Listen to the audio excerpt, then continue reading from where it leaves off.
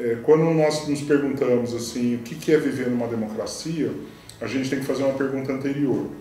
É, qual o grau de desigualdade que nós temos na nossa sociedade? Se a desigualdade é muito grande, é, você sempre terá uma chance de grandes conflitos de interesse.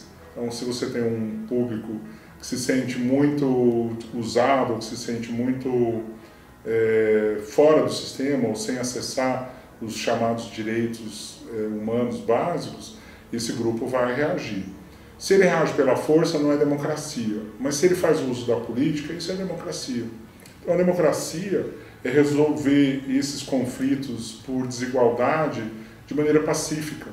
O que não quer dizer que é, não seja agressivo. Você só não vai usar fazer uso da força.